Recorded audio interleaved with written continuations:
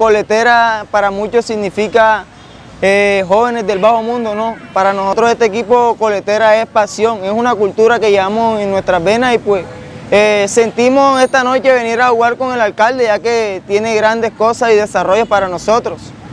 Eh, pues nos presentamos esta noche acá porque queremos compartir estos sueños que siempre anhelamos día tras día, a pesar de aquellas adversidades y esos obstáculos, siempre queremos salir adelante y lograr nuestros objetivos.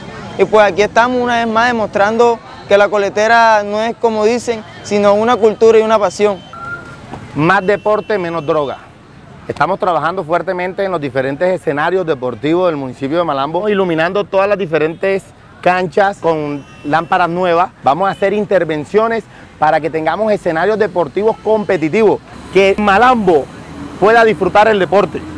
Vamos a trabajar con escuelas, con jugadores del junior, para mejorar el deporte del municipio de Malambo. Una gran apuesta de formar jóvenes de bien y jóvenes que representen al municipio de Malambo a nivel nacional y a nivel internacional.